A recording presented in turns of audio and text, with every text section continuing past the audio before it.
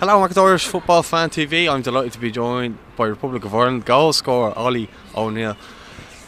Sum that up because at that point, 92nd minute, it looked like it was going to be a boring nil all draw. And there wasn't a whole lot going on in the game. Conor Coventry finds you with a brilliant pass. You show unbelievable composure and bury it past the keeper.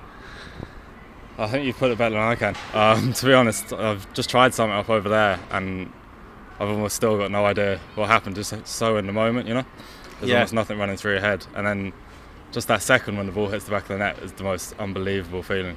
Um, I didn't know it was over. I was in the corner celebrating, and then Brian Maher, the keeper, ran over saying, like, it's all over, it's all over. It's just, you couldn't write it. It's like, it's the best, perfect time to score, isn't it?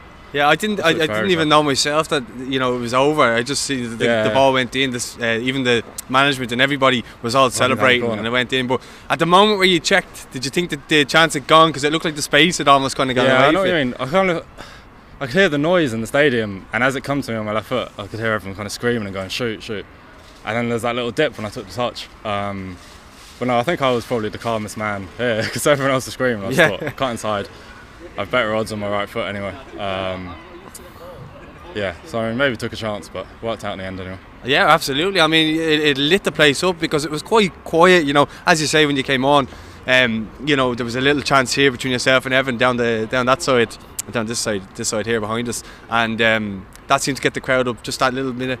And then, as you say, you put the ball in the net. Um, you couldn't ride it, could you? Nah, you, that's- you- that's you couldn't thing, you script it couldn't- any better. You said to me when I was coming on, like, what do you want out of this? I probably would have said, like, 90 second minute winner, and you can't. Yeah. Amazing.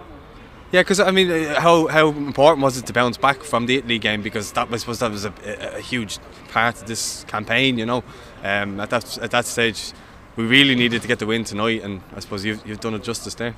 Yeah, no, I think we knew we massively needed three points tonight. Um, I mean, to be fair, I think with Italy as well, like it was a close game. We're probably a little bit unlucky not to get away with a one-one. You know, some of the Yeah. chances we had, some of the goals they scored on the counter attack, slightly maybe a little bit fortunate. And I think teams like Italy, and Sweden, people probably say they're the two best teams in the group, but we've no fear. Like, there's no reason we're not. We're not up there, and there's no reason we can't get results like tonight. I think for 90 minutes tonight, we've gone toe to toe with Sweden, and Yeah. not much in it, is there? There's could, no it could have reason- went either way tonight. The Yeah. chances, you know, it, There's it no wasn't reason much. Ireland not to be thinking that's where we should be. Yeah, and So- I actually did a bit of media last week with a lot of the lads, Gav, Will, um, Jake, and a few others, and they said quite similar. You just, you just have no fear going against you know opposition that uh, may be you know ranked higher than you or, or Reputation over the years stuff, yeah. reputation, as you say. Yeah, yeah, Not at all. Um, I mean, I'm 18 years of age. I've got the world at your feet now. well, hopefully, but you know, I kind of couldn't care less who I'm playing against. So, yeah, it's brilliant night. Absolutely. Well, look, I know it's cold, and uh, we said we only keep you two minutes. So listen, thanks Sure. very much. Enjoy your night, and well Thank done. you very much. Cheers. Thank you. Top man?